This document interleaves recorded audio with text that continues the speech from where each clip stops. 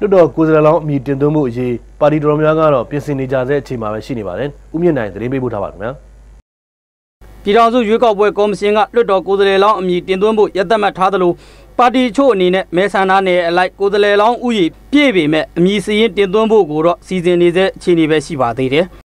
တို့နေတော့ခမန်းကြီးကိုယ်စားလှယ်ကောင်း250လောက်ကတော့ဟိုရှိနေပြီပေါ့ဒါပေမဲ့ဒီတစ်ထပ်တိုးဖို့လည်းအစီအစဉ်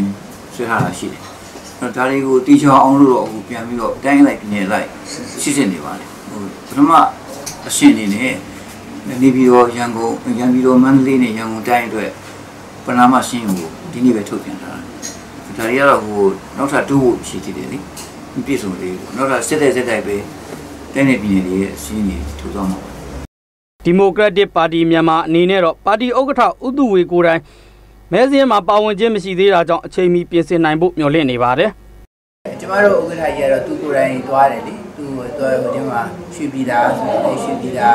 မြို့နယ်ပေါ့နော်မြို့နယ်ဒီရုံးကိုသွားတယ်သွားတဲ့ခါကျတော့သူ့ရဲ့ဟိုဒီကနပ်ပေါ်ပါလာဟိုဒီမက်ဆေ့မရှိဘူးပေါ့နော်မက်ဆေ့မရှိတဲ့ခါကျတော့အဲသူကသူတို့ပြောတာတော့နည်းနည်းလေးကြာအောင်မယ်စောင့်အောင်မယ်ပေါ့ဆိုတော့သူကရှင်းပြတယ်သူကိုယ်တိုင်ကိုယ်စလေလောင်းဖြစ်ဝင်ပါပေါ့နော်ဒီတိုင်း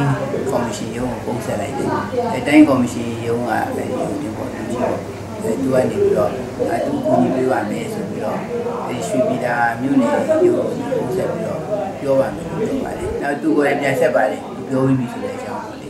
တော့ဒီစီပီပါလိမ့်မယ်လို့တော့ညွှန်လို့ရတာပဲ